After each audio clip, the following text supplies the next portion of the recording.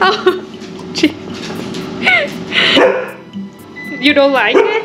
Oh, Brownie. Now, hey, hey, Brownie. Be nice. Brownie kêu là không, Brownie không thích cái mùi này. Bà Chloe bà ấy còn hát xì một cái rõ to. ok, thời tất khoản.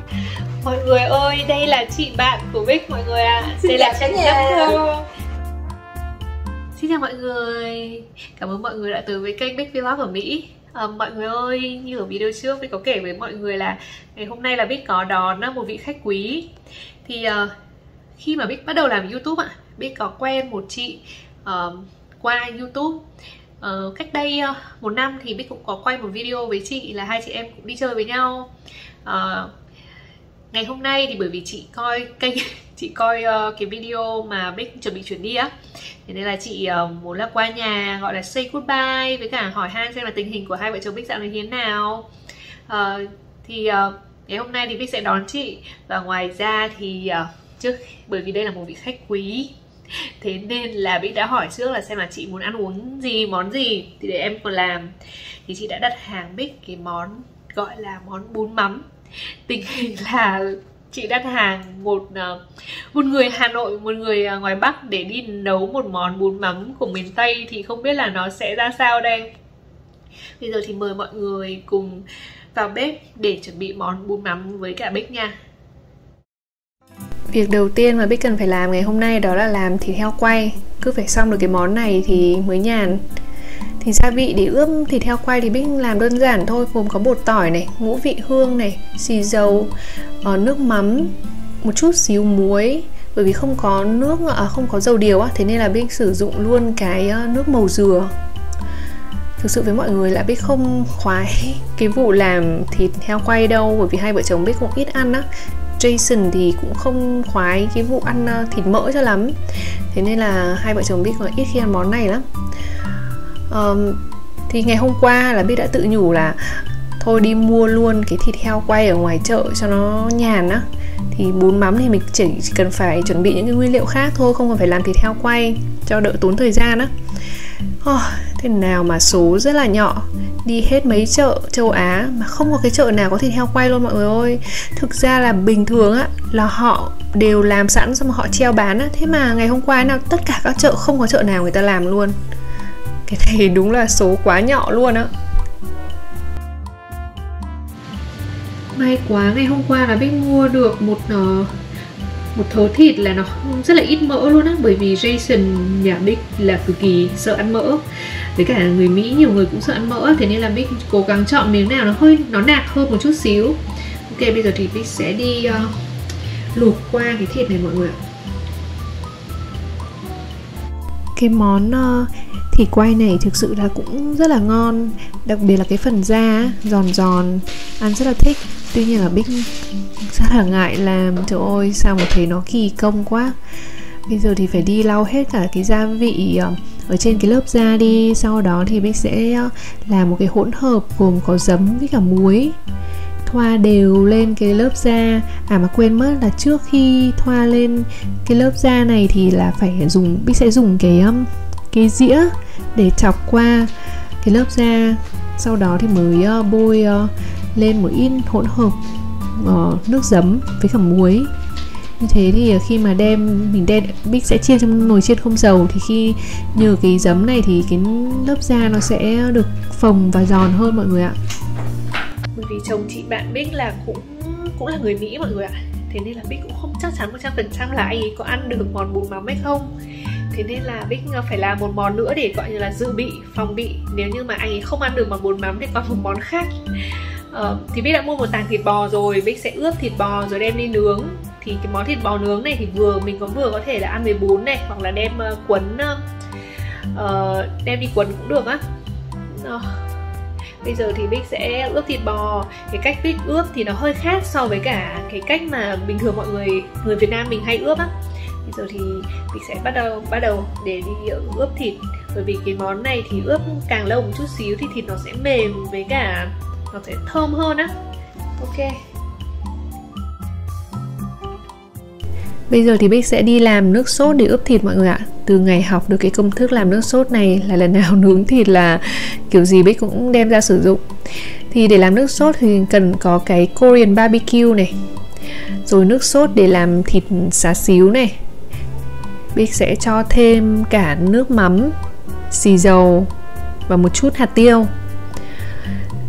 Thực sự là lúc đầu mà khi biết được cái công thức nên làm này mọi người là Bích nó cũng nghi ngờ lắm bởi vì trời ơi sao này Korean barbecue này là của Hàn Quốc này xong rồi thịt xá xíu ướp thịt xá xíu là của Trung Quốc này. Ờ, rồi lại còn cho cả nước mắm vào nữa.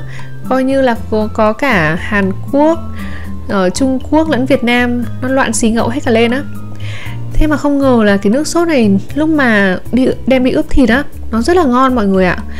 Um, nó làm cho bích nhớ tới khi mà kiểu những cái lúc mà ăn thịt nướng khi mà còn ở Việt Nam á.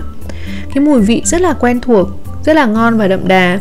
Thế nên là mọi người thử làm uh, cái nước sốt này coi sao nha. Bây giờ chỉ cần phải trộn đều nữa lên nữa thôi là xong là có thể đem đi ướp thịt được rồi.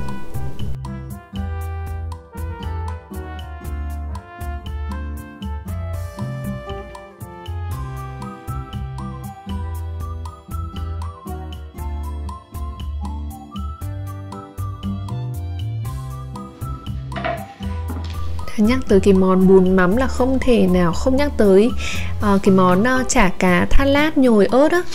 Thì bây giờ Bích sẽ sử uh, Bích sẽ bắt đầu đi chuẩn bị uh, cái uh, chả cá thát lát để sẽ tiếp sau đó là sẽ nhồi với cả ớt.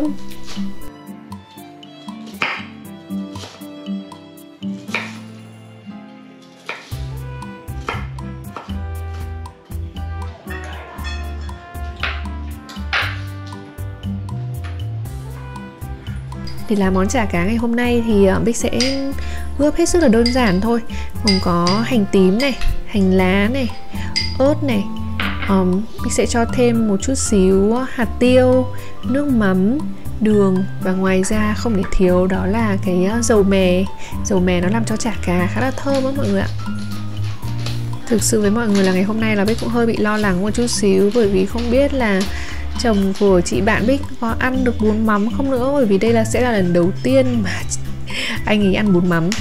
Hy vọng là Bích sẽ không làm thất bại, bởi vì nếu như mà thất bại thì chắc là từ giờ trở về sau là chồng chị ờ, bạn Bích là không bao giờ dám động tới món bún mắm nữa.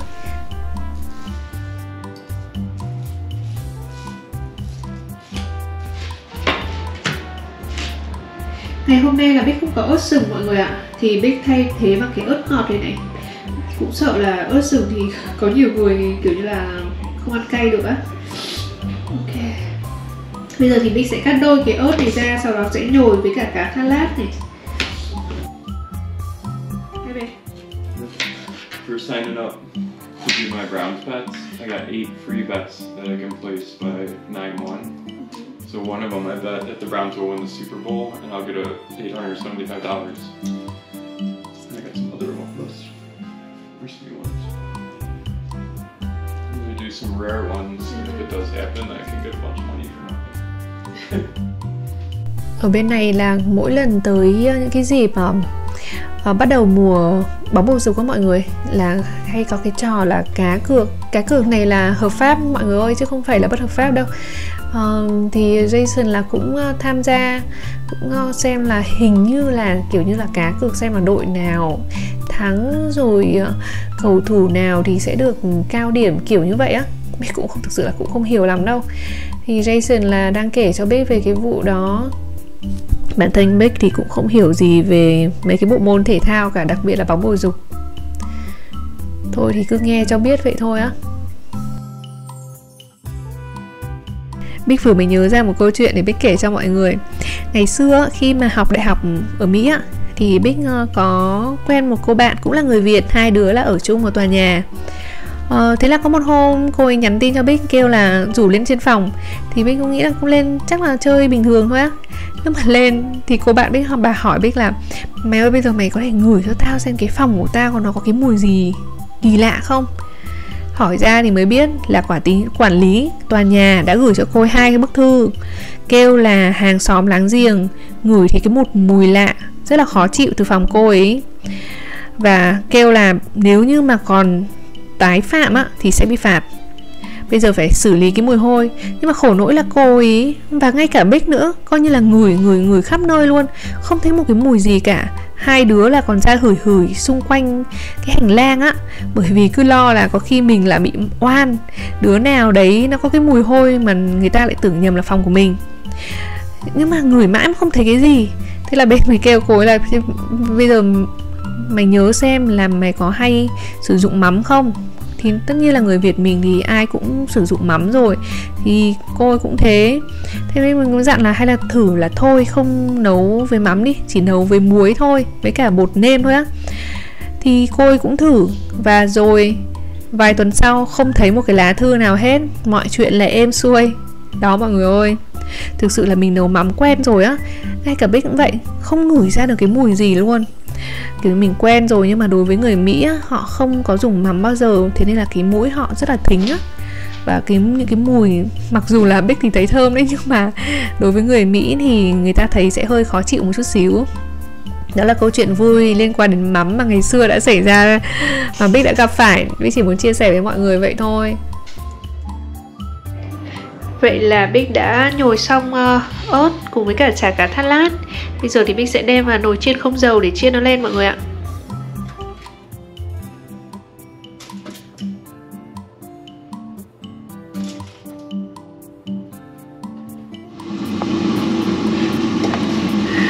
Mấy đứa này mọi người nhìn bạn Chloe này.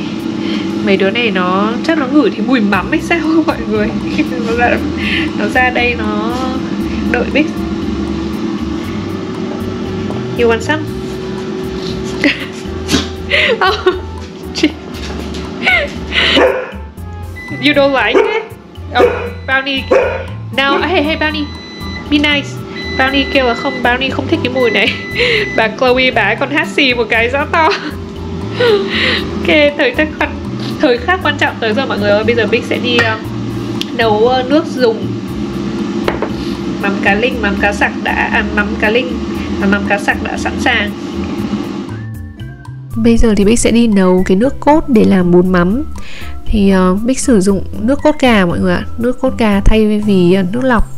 Sau đó thì bỏ vài miếng dứa vào Rồi cho một ít hành tím Đun cùng với cả mắm cá linh Mắm cá, lạc, uh, ờ, mắm cá linh và mắm cá sặc xay mình sẽ đun cho tới khi mà cái mắm cá linh và mắm cá sắc nó hòa tan đều ra sau đó thì sẽ đem đi lọc. Bởi vì mặc dù đây là mắm cá linh và mắm cá sặc xay, nhưng mà nó vẫn Bích vẫn sợ là nó có cái xương á mọi người.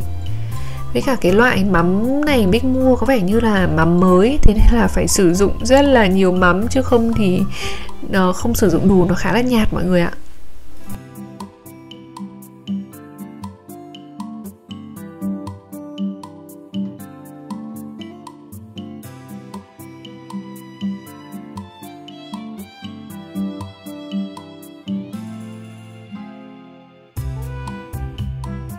Cái cá thắt lát của mình đã xong rồi đi mọi người ơi.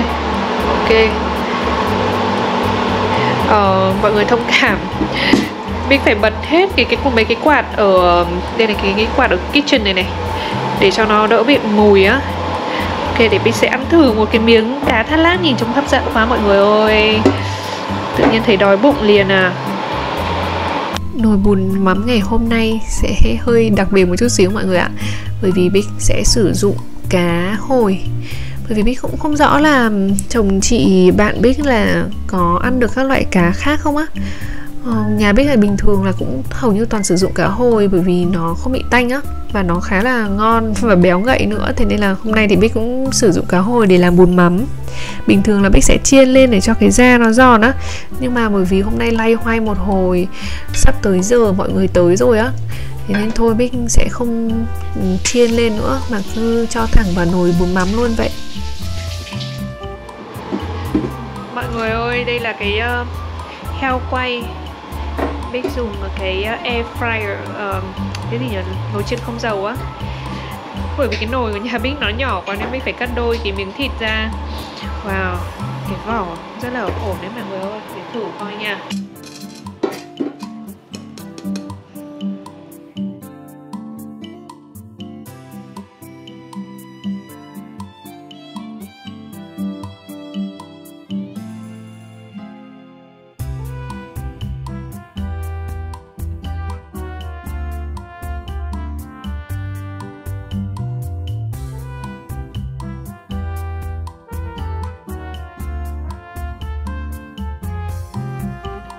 Mọi người ơi, vậy là bún mắm của chúng ta cũng đã được hoàn thành xong.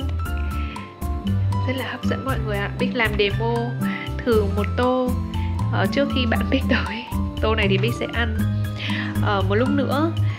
Nhưng mà kiểu bởi vì phải quay để uh, làm thumbnail á Thế nên là Bích sẽ Bích làm trước một bát. Còn lúc nào bạn Bích tới thì sẽ làm sau cho mọi người. Thực sự là lu bu nhiều việc quá, Cuối cùng Bích cũng không có đủ thời gian nướng thịt bò nữa. Thôi thì đành phải để cái khối thịt bò đấy là ngày mai nướng vậy. Còn hôm nay là hên xui đi. Thì khi mà chồng chị bạn Bích ờ, không ăn được cái món bún mắm này Thì cũng đành phải chịu thôi, chứ còn cũng không biết phải làm sao. Không, phải công nhận là cái món bún mắm bún mắm này nấu cũng rất là cầu kỳ mọi người ạ. Bởi vì phải chuẩn bị rất nhiều thứ á.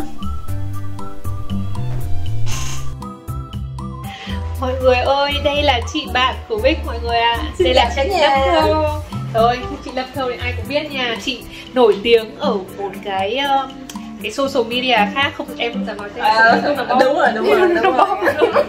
Ờ, nên là uh, không dám nói tên với bạn ơi nổi tiếng hay là bạn tiếng cũng không biết nữa. Nhưng mà hôm nay qua nhà bích chơi nè nên là mình có mua bánh trung thu qua để wow. làm với, với chị em sẽ là người ăn với nhau Cảm ơn các bạn Nhìn trời ơi, trông fancy lắm mọi người ơi Hấp dẫn Nhìn cái hộp này trông rất là đẹp luôn á. Hộp đẹp ha. Yeah. Nhìn rất là à, Make in Hong Kong này các bạn ơi. Đây, đây Hôm nay qua được uh, Bích nấu cho bún mắm ăn rất là ngon luôn 10 điểm 10 điểm. 10 điểm ok. Lần này là lần này may mà có chị Thơ khẳng định là em nấu ngon. chứ, chứ bình thường không ai tin bởi vì kiểu như là toàn cho mỗi Jason ăn thử á. Thì... rất là ngon luôn. Mấy bạn ơi nói chung là lâu lắm rồi hình như là chị nhớ khoảng 2 năm hai năm rồi chưa được ăn bún mắm nha. Nên là hôm nay ăn lại nói chung là rất rất rồi. là ngon. 10 điểm 10 điểm. Em em sẽ đóng gói cho chị mang về hai hai bọn em ăn không hết đâu thế nên em sẽ đóng gói. Còn bây giờ là hai chị Đây. em sẽ là lấy bánh ra nè mấy bạn. Ăn, ăn rồi thử. sẽ là ăn thử cái bánh này nó có tên là không không nhớ là cái tên là gì mà nổi tiếng lắm của Hồng Kông á là ở trong đó. À. trời ơi con tiếng uh, lava cái gì lava, gì đấy á. đúng rồi đúng rồi đúng rồi cái này là mấy bạn là rất là nổi tiếng luôn nè nên là wow. uh, mua cái này cái này là, là hàng xịn nha mọi người ơi. Cái này hàng xịn. trung thu ăn trung thu sớm. Bây giờ mình lấy cái gì mình sẽ là để lên Đang dĩa cắt, mình sẽ uh, cắt ra. Ok. Mình sẽ cắt ra. Chị thơ là biết uh, quen uh, um, cái lúc mà Bích mới bắt đầu làm YouTube á mọi người. Thì Bích có một cái video uh, chị Thơ này, Bích với cả chị Ly là ba người đi chơi với nhau. Uh, chị Thơ khá là tốt bụng mọi người ạ kiểu như là mới quen với cả chị á, mà chị đã rất là thành thật. Chị kể cho mình rất là nhiều thứ, chia sẻ rất là nhiều kinh nghiệm. Thế nên là bích rất là quý chị thơ và vẫn liên lạc tới tận bây giờ. Thực sự là cuộc sống thì cả hai chị em đều có rất là nhiều công việc, bởi vì hai người thì cũng làm trong hai công việc khác nhau. Chị thơ thì lại rất rất là bận, bởi vì chị đang làm startup mọi người ạ. Có nghĩa là mới thành lập một cái công ty chuyên về tư vấn du học á thế nên là chị cũng bận mà bích cũng bận. Hai chị em là cũng ít khi được gặp nhau lắm. Thế là chị coi được cái video là bích uh, chuẩn bị bán nhà để dọn sang Florida. Thế là ngay lập tức chị liên lạc với Bích là kiểu gì hai chị em là cũng phải gặp nhau.